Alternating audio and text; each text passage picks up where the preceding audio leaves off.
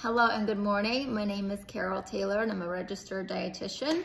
In this very short video, I'm going to do my best to talk about important topics regarding heart health since it is February and in February we like to talk about heart health.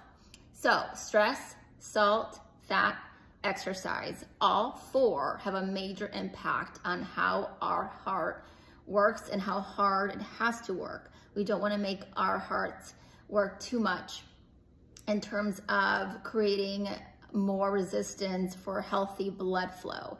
Exercise does encourage a strong heart, healthy blood flow, um, but too much fat, too much salt has a negative impact. So we wanna be mindful of how much we eat on our plate on a day-to-day -day basis. We want to eat, um, we need salt for flavor. So we wanna eat salt.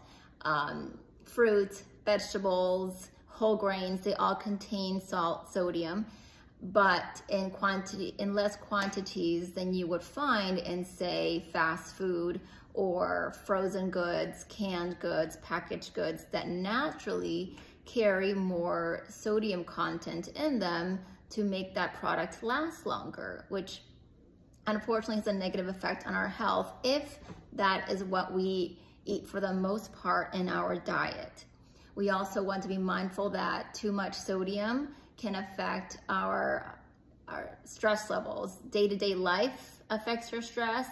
And if we also eat a diet high in sodium, and I'm using salt and sodium interchangeably, can also have a double negative impact on how hard our heart has to work.